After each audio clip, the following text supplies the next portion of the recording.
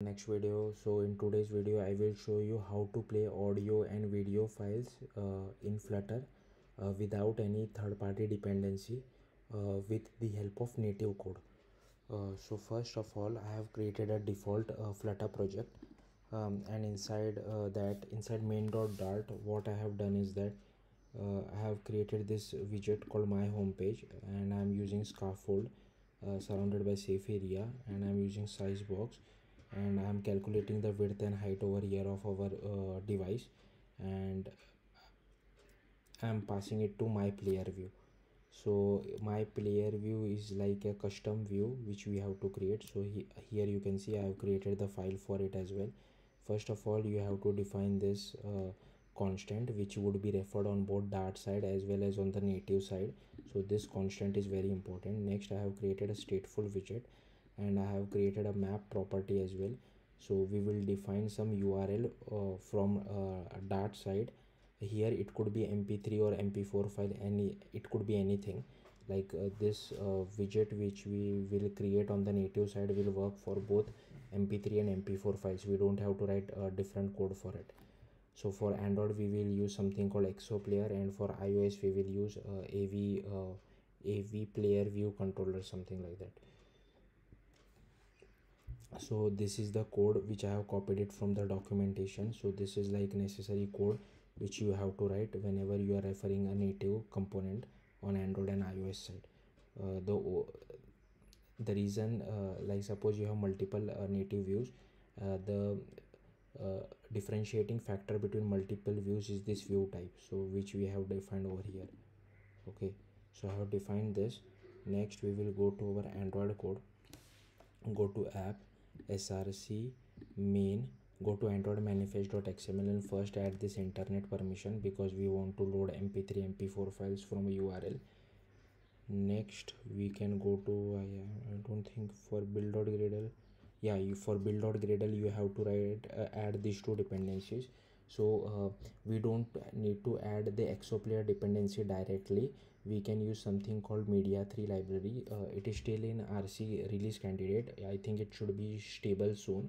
So just check whenever you are watching this video whether the 1.0.0 version is already available or not. I think it should be available in the next few months. Uh, i don't think there would be any breaking changes as such and this is the recommended library by google to play audio and video in new android projects because this works with jetpack compose with older xml uh, as well. So use this and don't directly use the exoplayer library. Suppose you want to do heavy customization for your video which is not possible via media 3 library then you can directly use exoplayer otherwise it's better to use uh, media 3 library so add these two in your dependency. Next go to kotlin. Inside main.activity you have to write this bit of code. And here make sure whatever you have defined on the dart side uh, you refer it over here as well. So first we will create the my player view factory class. So here you can see my player view factory. And inside that again i have copy pasted this code from documentation. Uh, like this factory class is necessary whenever you want to create uh, a custom native component and inside that we are creating an object of our my player view. And inside my player view.kt here you can see that uh, again this is boilerplate code. We are first creating a linear layout and then here I have just copy pasted this code from the official Android documentation. Here we are re returning the linear layout. We are making sure the linear layout occupies match uh, like occupies the whole width and height so that's why it is match parent then we are defining creating the player view. Then we are setting the layout params for player view as well and then we are adding the player view to our linear layout. Then we are getting the url which we are defining in the dart side on the to the native side. So this is how you get the url and then calling the setup player. Here we are calling the uh, setup player to uh, you know which we will which will uh, play like this is the exoplayer object which we will uh, which will automatically play the audio or video for us. And if you want you can write this bit of code like this will hide the status bar and the navigation bar like the back buttons and all which you see. So our video will occupy the whole width and height. And here this is a release player which are which is called whenever uh, we are uh, disposing this UI uh, like whenever this UI component is no longer visible on the screen so we don't want to keep uh, this thing in our memory. Otherwise your app will become slow. So once uh, that is done so this I think this is for Android. Am I missing something?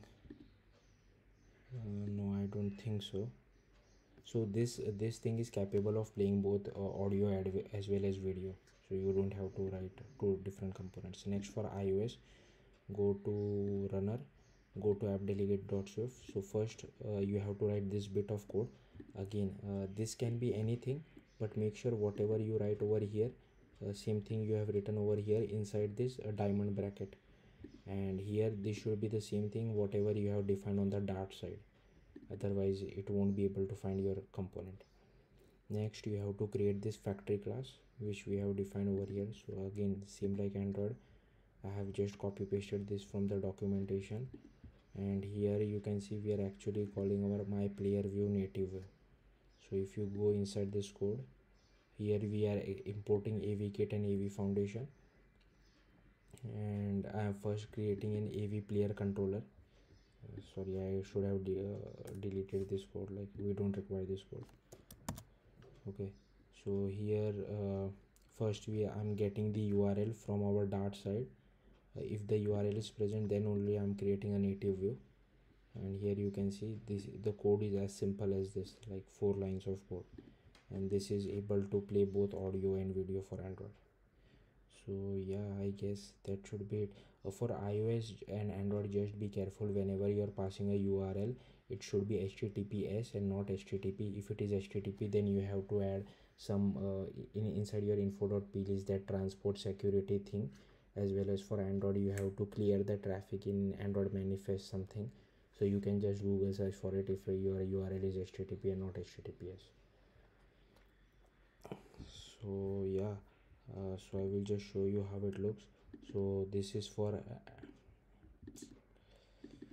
this is for android audio. Here you can see i have the play controls as well. Like i will just i have the seek bar at the bottom. I have the play pause button forward next button as well and i will show you for video on android as well. This is a bug in quicktime player i guess. Okay here you can see i can play pause i can see move the seek bar as well if I want to. Um, like one bug which I have noticed is that uh, if you are trying to run this on the emulator for Android both for audio and video uh, the uh, play pause button or the moving of the progress bar or seek bar whatever you call it might not work. It is better to try on a real device. On the real device it does work. Uh, and uh, even better if you could try it in the release mode of your apk otherwise you might feel that the app is slow because audio video does uh, take a lot of memory. So it is better to try in the release mode just to check whether you are happy with the performance or not. And same for ios as well here you can see like i'm able to play pause as well. Not sure if you guys can hear the audio or not. And the same for video as well